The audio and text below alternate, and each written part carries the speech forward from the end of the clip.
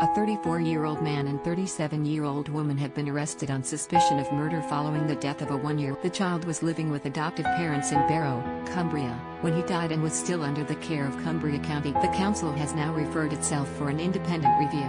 Lancashire Live Emergency Services were called to an address in Barrow on January 6. The child was flown to Alder Hey Children's Hospital, but died. A man and woman in their 30s, both from Barrow, have been arrested on suspicion of murder. They have also been arrested on suspicion of causing and allowing the death of a child and two other counts of assault, ill treatment, neglect, and abandoning a child to cause unnecessary injury. They have been released on bail as the investigation continues.